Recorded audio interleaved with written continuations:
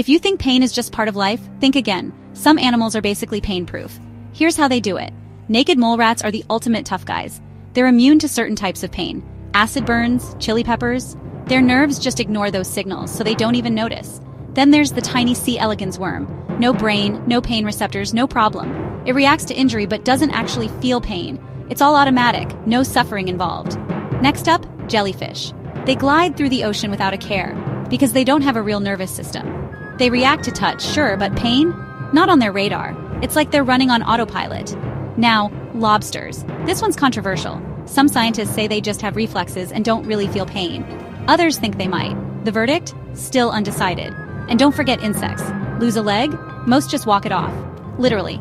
Their bodies handle injury, but for many, there's no pain response at all, just damage control.